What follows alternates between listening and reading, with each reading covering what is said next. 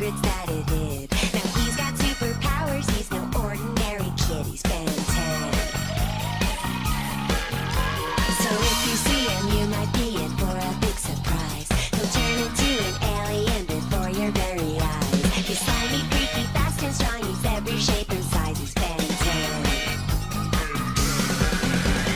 All our powers, on the case, fighting off evil from